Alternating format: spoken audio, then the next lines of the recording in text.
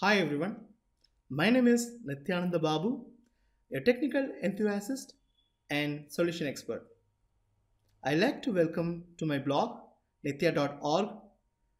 This is my personal technical blog. This I have created to share my experience regarding architecture and enterprise solutioning. Basically, I'm from Bangalore, India, currently working as a senior cloud solution architect in one of the world's biggest digital innovation agency. I have spent more than 15 years in helping many global organizations to create, manage high volume transaction enterprise systems. And I also having deep understanding with cloud technologies and open source platforms and DevOps practices. I'm hoping to make this as an interactive place where readers can come to share their thoughts on software architecture. You can let me know what you liked and what you didn't, or what you might be interested in seeing in future videos. Please share your thoughts via email or comments. So I am looking forward to hearing any thoughts you are willing to share. In this blog, we are going to travel across many software's problems and solutions. Trust me, we will explore lot of things, especially doing right things with right tools. I will make sure this blog will help you to build amazing things. Here's my personal statement about solutioning. I believe that solutioning is the biggest skill in software industry. It's not just about the coding. It's all about experience. How you are approaching the problem, how many problems you have solved in real time, what kind of considerations you have given and taken while building the stuff. I spend a lot of times in innovations, strategic development, troubleshooting, creating frameworks via hundreds of tools and softwares. It's not about the tools. Tools are just enablers. I don't like to advocate any particular technologies or platform.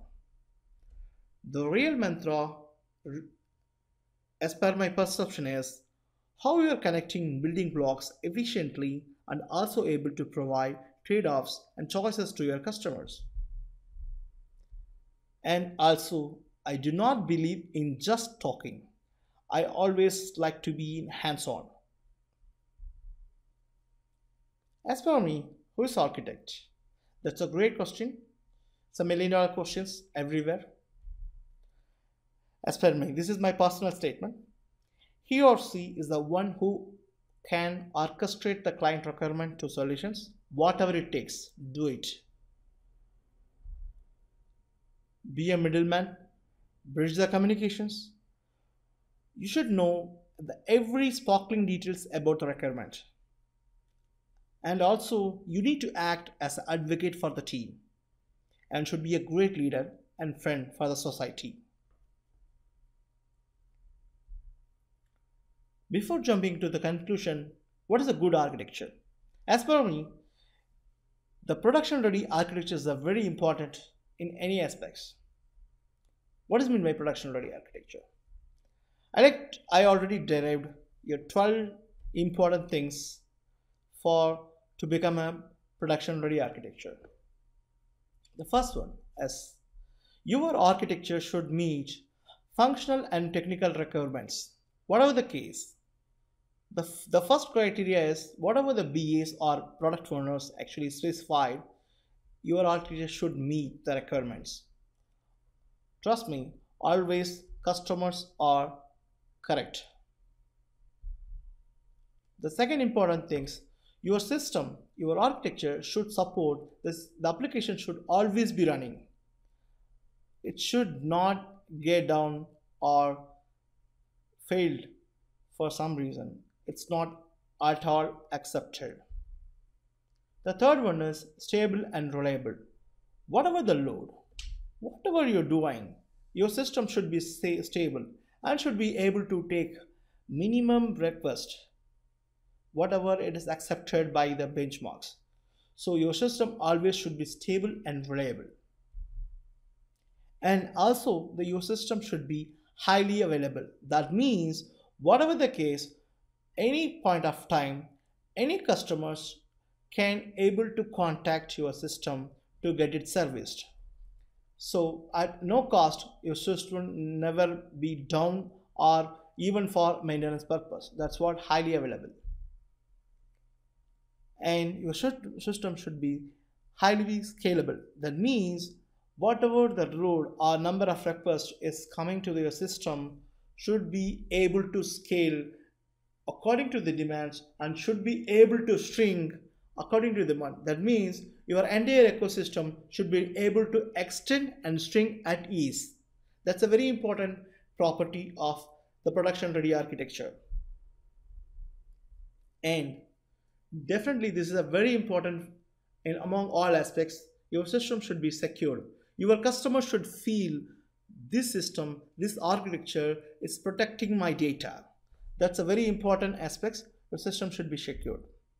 And the performance. Today's every systems, the response time or loading time is considered as a very important factor for the system success. So your system should be able to respond very quickly for the user request. And also, your system, your architecture should support the better utilization of resources. That means in terms of reducing the cost, your system should fully utilize the resources which is available to that. Correct? Maybe it may be a memory or it may be a CPU or it may be a storage or whatever it is. So you should be able to fully utilize the resources. And your architecture should support the better monitoring and log and error handling. Why it's needed? It is very important for either preventive maintenance or demand maintenance or it is post maintenance. Is it whatever the case, your system should be able to produce the logs and able to handle errors and able to monitor properly for any betterment of the system. And the next part is very, very important called user experience. Other than this, nothing is important, correct? The user should be feel should feel you and should able to enjoy the system. That's called user experience. So it is it is it is not only UI, it is experience. It's ergonomics of the user. It might be a typography. It may be a color. It may be a position of the button so whatever it is, the user's experiences should be very well framed. And another things, your system should be easily maintainable via loosely coupled architecture. Why it's needed?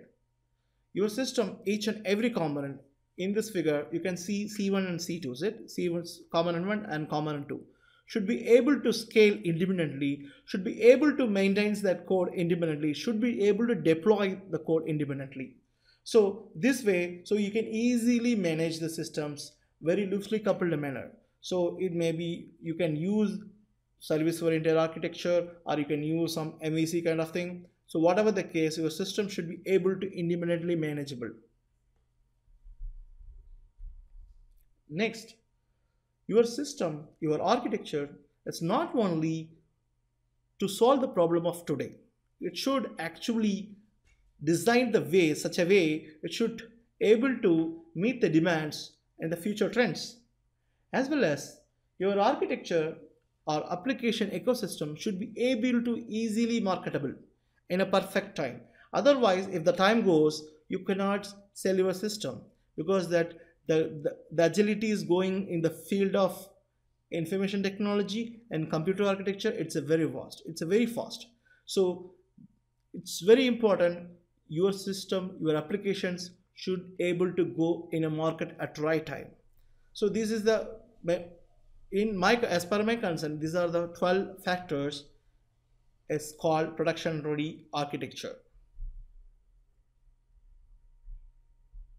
Okay let's what are the principles I need to follow while designing that production ready architecture? The first important things is good architecture should reduce the business risk associated with the building a technical solution. The second one is it's not required you just building to last. You have to build the system for a change because the agility is you cannot stop it. Correct? You change is you cannot stop it.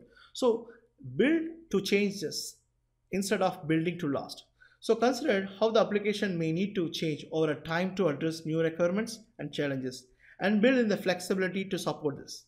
So you should your system should support any change at any time. And this is a very important factor. Don't try everything will be right for the first time. It's not correct. It cannot be. Consider using incremental and iterative approach to refining your architecture. First, start with the baseline and go to the picture. And then evolve the candidate architecture as you iteratively test and improve your architecture. This is very, very important. So nothing, you cannot create the masterpiece at first time. So you just go from micro to macro. And it's very important aspects. You have to find the fundamental parts for the architecture. That is represents the greatest risk if you get them wrong. Don't touch it.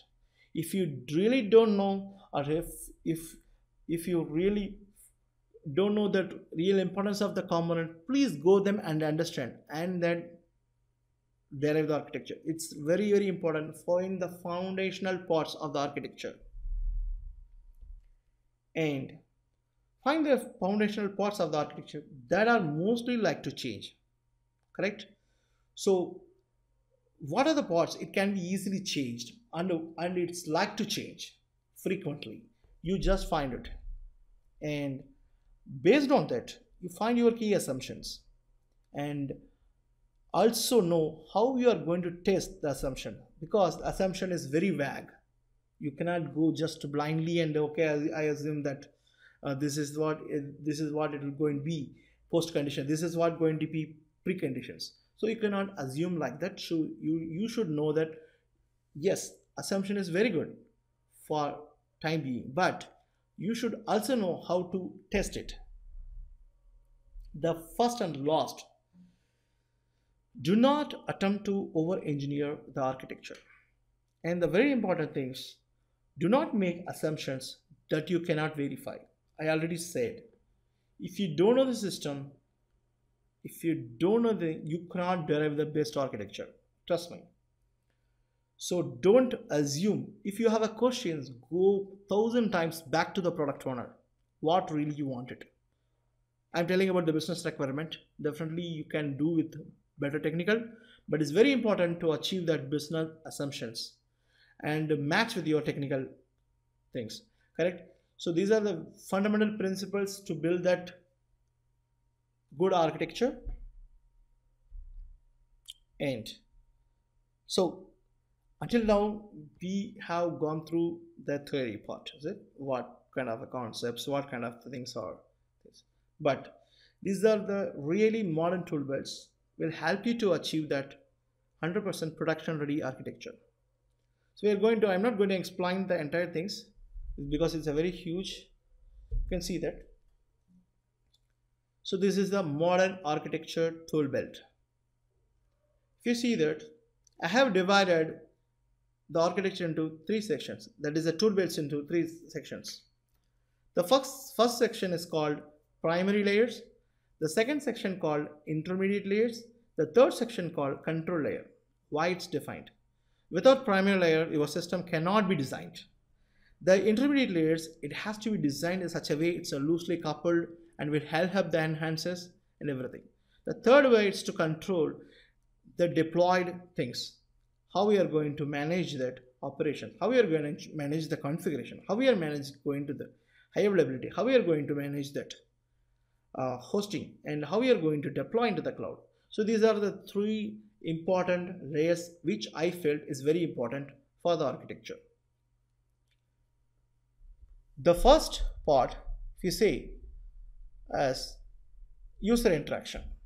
It's a very important things for any aspects because the user is going to interact only with the layer so i can spell it there are very uh, there, there are many players are playing around it like angular react polymer bootstrap and dojo jquery ember meteor.js MVC, Swing, JavaFX, GoWeb, Revel.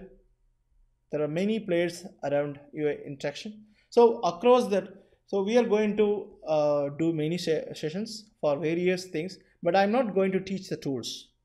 This is how we are going to map it to form the better architecture for different scenarios. So we are going to do one by one. So let's see, tune it. The second one is service layers. It's a very important and it's also helping us to scale the system very importantly. So there are many players surrounded here, the Node.js and Go and Vert.x, Web API, ASP.NET Core, Azure Service Fabric, Jersey, Dropwizard, Spring Boot, Ruby on Rails. If I miss some tools, definitely feel free to send me. These are the things I I think uh, it's playing a role over here, but today, but please feel free to send me a mail regarding this. And another important aspect is containerization. It's very important today because um, I'm not going to explain what is called virtual machines, what is called Docker containers. So um, definitely it is, a, it is going to be a play a role in this upcoming years. And this is the way to go for visualizing, sorry, virtualizing your resources. Please go through it. There are many players are there. The important player is dockers and another player is openshift coreos project. But all the entire system is actually around dockers. Some of the things are rocket or some flockers and all. It is actually another variation of the dockers. But still trust me entire things are going towards the dockers ecosystem. And the next is source control and quality automation. So it's very important. Is a base element. Your code should be source control because you can go you can roll back you can deploy or anything you can do it via this. And also there are many tools which you are helping to automation because the automation is only key to reduce the human errors correct? And also only the key to produce the quality. So there are many players are there. Mercurial sonar cucumber casper js NUnit JUnit specflow chai mocha.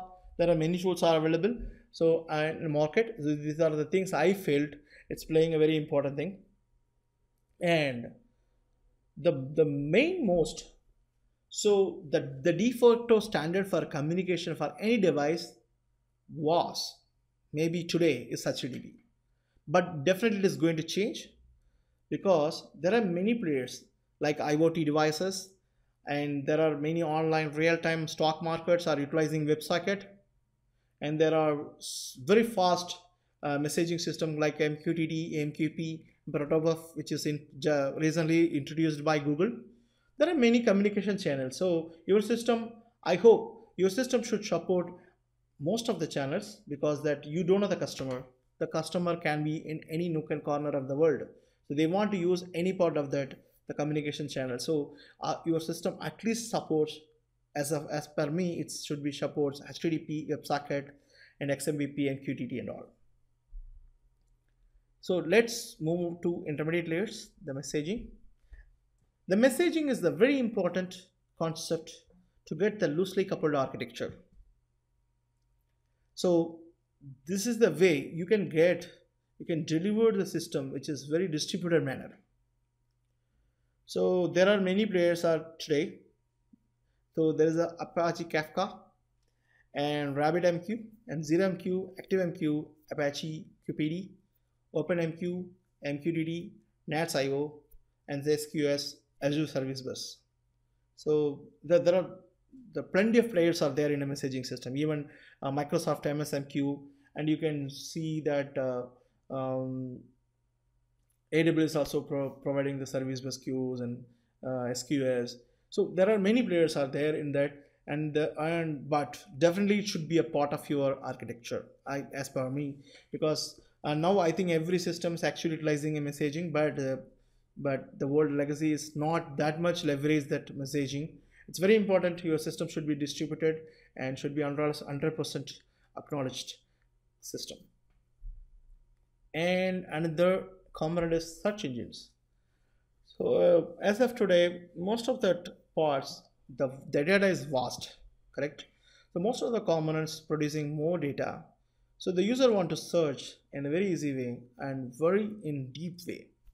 So these are the players are around here elasticsearch apache solr azure search aws search even there are another commercial product called endeca. So there are many products and search engines. So uh, please go through it and uh, it's very good to understand and uh, there is a only the L stack is pitching in more areas. Even AWS uh, search is actually based on Apache Solr so uh, it is if you understand one product you can easily understand others. So please pitch in it. The next important the next era database system is NoSQL correct? So now NoSQL supports many different document based, document based, key value based, graph based, and even ha hash based. Many things is available. So as a, there are important players: MongoDB, HBase, Redis, Cassandra, Couchbase, Riak, HDFS, HBase, MemSQL. So please go through it. Anyway, the course of actions we are going to see everything, and this is a, another important component called cache. If you want to get the real performance of the system, you cannot just behind your database or just behind your contents, right? So some way the system should be performed imme immediately, correct? So the data should be able to get the data very quickly from cache. So uh, we are going to, so I have played many areas uh, in those uh, components. So the many players are around here. So you can see Redis, you can see Varnish, Memcached, OS Cache, EH Cache, Infinispan, Terracotta, and Flask Cache. So it's very important to understand the cache because that I think it's uh, it's also integral. It should be integral part of the any system where that data readability is important. Next is the one-on-one solo hero is big data analytics. The billions of data, terabytes of data is produced by each system. So for example, um, if you take today's actually IoT is evolving and there are many cloud systems evolving, the every component is going to produce the enormous amount of data to the system. How are you going to analyze this? So this is what all about this big data analytics part. So there are many players around here. The primary players hadoop and spark and then there are many players are coming. Storm is actually is actually equivalent to spark and then uh, there are many uh, ITIL system is there flume scoops fade and beam that is another beast which is coming for actually it's kind of a pre-compiler for end a program whether it can understand the scala it can understand that different algorithms. So it's it's all about and um, there are many schedule schedulers are like mesos like yarn um, Zep, uh, zeppelin is actually interactive uh, like querying tool for big data. Drill is also interactive querying tool big data. Hive is actually totally changed that paradigm of how to query uh, in then with the native of hive sql and uh, hue and all. So uh, yeah uh, it's very important. I think th this is going to be a big role in that society um, for any case actually. So please switch into that big data analytics. Now let's jump into the control layers. So very important to run the business continuity correct? So business continuity is always important because that is producing the revenues. So uh, in, in that important it's a logging and monitoring is as per me it's actually utmost important because it's it's helping us to identifying post condition preconditions of the system. Once and there are many players uh, available. So um, you can see that Stack, Log4j, Splunk, New Relic, AppDynamics, and the StatsD and StatsD and the collect Ds are Linux based, and Logstash is actually playing that elk uh, network, and yeah this is a very important uh, logging frameworks and it's helping us to every day. And uh, yeah so we can see each and everything is in action in upcoming series. The next is high availability. As i told already the production ready system should always available and scalable at any cost correct?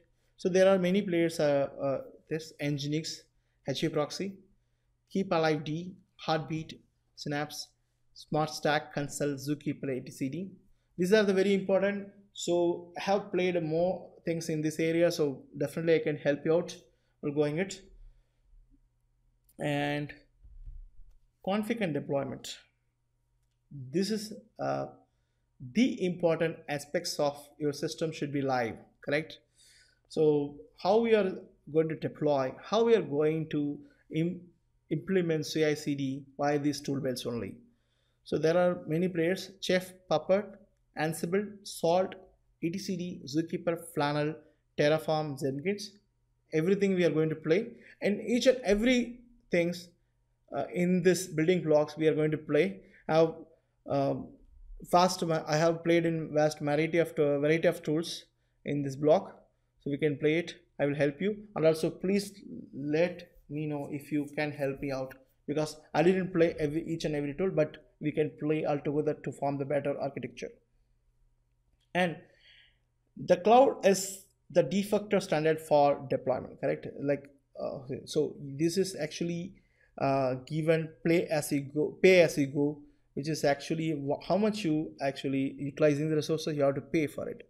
So you don't require to require hardwares and getting approvals and all nothing. So just go and deploy your servers and work and come back and put it in the pool and then pay just what you used. So there are many players are there. Um, particularly azure and google cloud and aws and heroku and OpenStack, OpenShift. The OpenShift and OpenStack is another paradigm. It's actually uh, emphasizing a private cloud. You can form that your cloud in your uh, own infrastructure. And uh, also you can host your things in Ubuntu Server, Fedora, and CentOS and CoreOS. So uh, we are going to play it, and also that there are plenty of tools that are going to help you to maintain the resources like Mesos, Marathon, DC/OS, Flannel, it's there are more uh, things to understand. So the following series we are going to understand each and every components and put uh, put it in that i'm not going to teach the tools. I'm going to teach that how we how we can do the better solutioning for the particular problems. Correct? So let's see um, how it goes